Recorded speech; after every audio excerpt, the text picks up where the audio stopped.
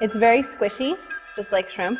It feels like there's, you know, like the body of a sea creature in here, I would say. But this shrimp didn't come from the ocean. It was dreamed up in a lab by scientists.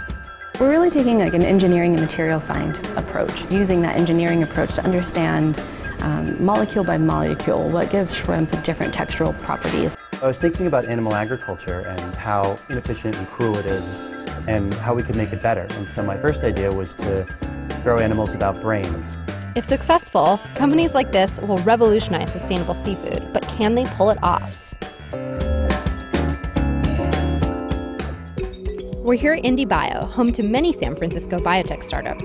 Here, a company named Finless Foods is working to grow fish meat from stem cells to replace wild caught fish. What we do is we take a small sample, about this big, from a fish that still lives. Um, the fish gets glued back up, put back in the water. From there, we take that sample and take just the cells that we need. The science that you're working with is extremely nascent. You're taking stem cells and you're trying to coax them into a fish fillet, basically. How are you going to make it actually taste like fish? We actually don't have to work very hard to make it taste like fish because we are using real fish cells from a fish. The problem really is creating a structure, a texture that will imitate meat correctly people like the idea of eating something that comes from the ocean, but something that was grown in a lab in a petri dish, that's not as appetizing sounding. So how do you plan to get people around that? They'll be eating the exact same thing, it'll just be sourced in a much better way.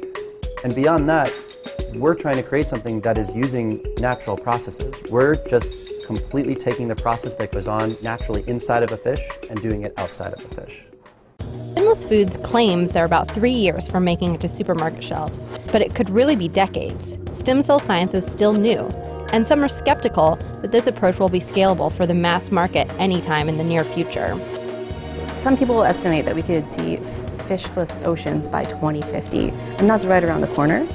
We've developed a process and technology that creates this texture of shrimp. We can bring it to your plate today instead of having to wait 20 years before these other technologies become affordable. There are so many people trying to make a fake burger, yeah. right? All these synthetic things that even look like they bleed. But why has seafood been something that hasn't attracted a lot of attention?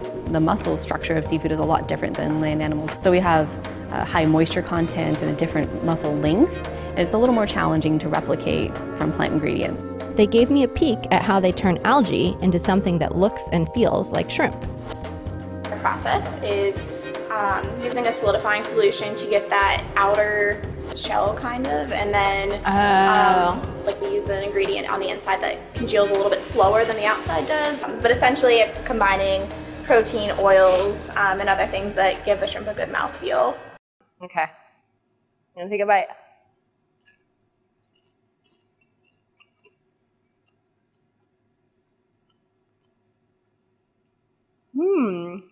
It's good, actually. It kind of tastes like, it does have a, a very subtle fishy taste. So I tried it, and it wasn't half bad. But the real test is whether the public will bite when New Wave shrimp finds its way to more stores and restaurants. Ultimately, though, for faux seafood that actually tastes like seafood, stem cells are the holy grail. The success of those technologies could save our oceans, but only if it comes before it's too late.